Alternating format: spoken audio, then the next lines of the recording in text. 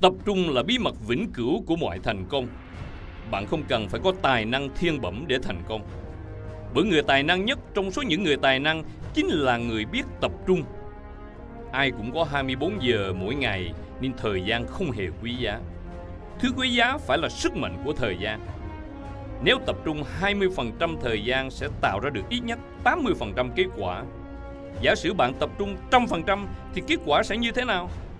Tập trung không chỉ là nói có với những việc cần thiết mà còn phải nói không với hàng trăm thứ khác dù cho chúng có ích. Nếu cùng lúc đuổi theo hai con thỏ, bạn chắc chắn sẽ vụt mất cả hai. Người ta nói rằng nếu dám mơ ước thì ước mơ sẽ thành hiện thực. Nhưng nếu bạn không biết tập trung vào đúng việc để thực hiện thì ước mơ đó cũng chỉ để ngắm. Mục tiêu của bạn là gì? Hãy tập trung vào những thứ giúp bạn đạt được mục tiêu đó.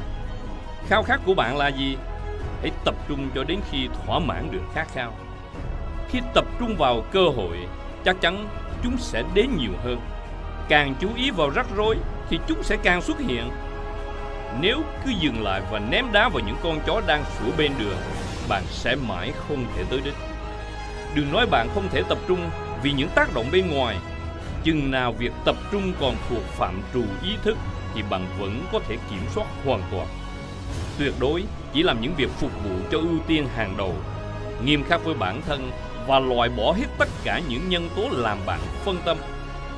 Bạn sẽ không biết được năng lực thật sự của mình cao đến mức nào cho đến khi bạn thật sự tập trung